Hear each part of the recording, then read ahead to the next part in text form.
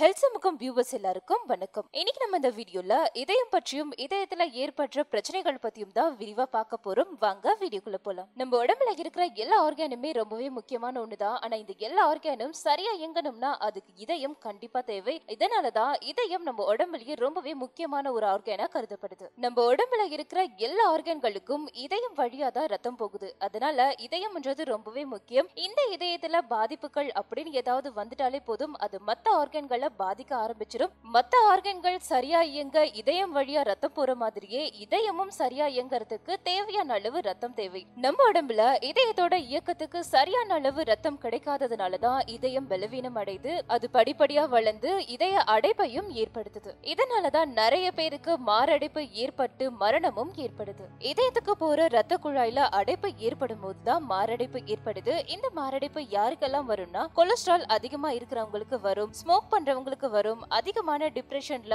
High வெயிட்ல இருக்கிறவங்களுக்கு high BP இருக்கிறவங்களுக்கு ஹை கொலஸ்ட்ரால் அது மட்டும் கிடையாது ஜீன் ப்ராப்ளம் இருக்கிறவங்களுக்கும் இந்த மாரடைப்பு கண்டிப்பா வர வாய்ப்பு இருக்கு. இந்த மாரடைப்பு ஏற்படுவதற்கான அறிகுறிகள் என்னென்ன அப்படின்றத இப்ப நம்ம பார்க்கலாம். சாதாரணமா சில பேருக்கு பாத்தீங்கன்னா தேவையில்லாம ஏதாவது சாப்பிட்டா அவங்களுக்கு நெஞ்சு எரிச்சல் ஏற்படும். அதுக்கப்புறமா அதிகமா ஸ்டெப்ஸ் ஏறி போகும்போது அவங்களுக்கு இழைப்பு ஏற்படும். இந்த மாதிரியான ப்ராப்ளமால உங்களுக்கு லைட்டா நெஞ்சு வலிக்கிற மாதிரி இருக்கும். அது மட்டும் கிடையாது சில பேருக்கு கேஸ் ப்ராப்ளம் இருக்கும். அவங்களுக்கும் பாத்தீங்கன்னா நெஞ்சு வலி ஏற்படும். இப்ப சொன்ன இந்த காரணங்களால உங்களுக்கு நெஞ்சு வலி ஏற்படுதுன்னா அது கண்டிப்பா ஹார்ட் அட்டாக் கிடையாது. உண்மையிலேயே ஹார்ட் அட்டாக் ஏற்படும் போது என்ன ஆகும்னு பாத்தீங்கன்னா உங்களுடைய லெஃப்ட் ரைட் அந்த மாதிரி எதுவுமே கிடையாது. மொத்த அந்த நெஞ்சு பகுதியும் பயங்கரமா ஒரு அடைப்பை ஏற்படுத்தும். மேல ஏதோ பயங்கரமா ஒரு வெயிட் வச்சிருக்கிற மாதிரி உங்களுக்கு ஃபீல் ஆகும். அந்த உங்க இதயம் ரொம்பவே கடின தன்மையை நீங்க ஃபீல் பண்ணுவீங்க. உங்க வலது கை ஃபுல்லாவே தாங்க முடியாத அளவுக்கு வலி ஏற்படும். பயங்கரமா உங்களுக்கு வேர்த்து கொட்டும் சரியா மூச்சு விட முடியாது. மூச்சு திணறல் ஏற்படும். மயக்கம் வர மாதிரி இருக்கும். உங்க முழு இருதயமும் அப்படியே அடைச்சுக்கிட்ட மாதிரி ஒரு ஃபீல் இருக்கும். சோ இந்த மாதிரியான அறிகுறிகள் உங்களுக்கு ஏற்பட்டா அதை நீங்க ஈஸியா எடுத்துக்காம உடனடியா ஹாஸ்பிட்டலுக்கு போயிட்டு ஒரு இசிஜி எடுத்து பாக்குறது ரொம்பவே நல்லது. பட் சில பேர் சின்ன சின்ன ஊர்ல இருப்பாங்க. அவங்களால டக்குன்னு ஹாஸ்பிட்டல் போக முடியாது. ஹாஸ்பிட்டல் போறதுக்கு தூரம் அதிகமா இருக்கும்.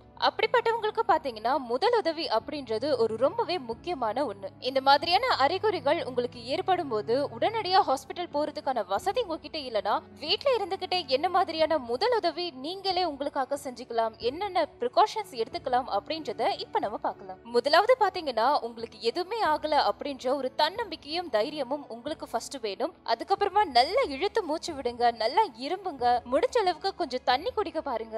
மாரடைப்பு ஏற்பட்டு நீங்க உடனடியா ஹாஸ்பிட்டல் போனீங்கன்னா டாக்டர்ஸே அந்த அடைப்புனால ஏற்படுற ப்ராப்ளம்ஸ கொஞ்சம் தள்ளி போடுறதுக்காக ஒரு மூன்று விதமான மருந்துகளை உங்களுக்கு கொடுப்பாங்க. இந்த மூன்று மருந்தையும் நீங்க எப்பவுமே உங்களுடைய வீடுகள்ல நீங்க வெளியில போகும்போது கேரி பண்ணிக்கிட்டீங்கன்னா உங்களுக்கு இந்த மாதிரி திடீர்னு மாரடைப்பு ஏற்படும் போது உடனடியா உங்களுக்கு ஹாஸ்பிட்டல் போக முடியாத பட்சத்துல இந்த மருந்துகளை நீங்க சாப்பிட்டு மாரடைப்பால ஏற்படுற பாதிப்புகளை கொஞ்சம் தாமதப்படுத்தலாம். அந்த நேரத்துக்குள்ள நீங்க ஹாஸ்பிட்டலும் போய் சேர்ந்துடலாம். சோ வியூவர்ஸ் இன்னைக்கு நம்ம இந்த வீடியோல மாரடைப்பு எப்படி வருது யாருக்கு வருது இதற்கான அறிகுறிகள் முதல் உதவி இது எல்லாத்தையும் பார்த்தோம். உங்களுக்கு ரொம்பவே பயனுள்ளதா இருக்கும் நினைக்கிறேன். இதை பத்தின கருத்துக்களை கீழே இருக்கிற கமெண்ட் பாக்ஸ்ல மறக்காம கமெண்ட் பண்ணிடுங்க. இந்த வீடியோ உங்களுக்கு பிடிச்சிருந்தா லைக் பண்ணுங்க ஷேர் பண்ணுங்க. மேலும் இது போல பல ஹெல்த் டிப்ஸ் தெரிஞ்சுக்க நம்ம ஹெல்த் சமூகம் சேனலை சப்ஸ்கிரைப் பண்ணிட்டு பக்கத்துல இருக்கிற பெல் ஐக்கனையும் கிளிக் பண்ணிடுங்க.